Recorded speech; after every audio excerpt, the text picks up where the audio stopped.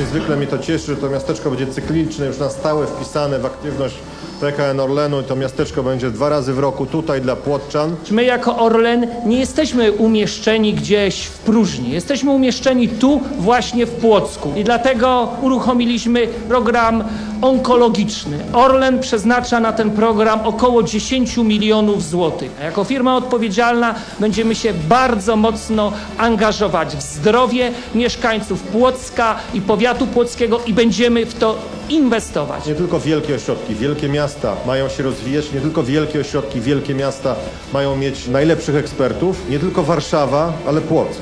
No nie Płockczanie mają jechać do Warszawy, tylko Warszawa ma przyjechać do Płocka.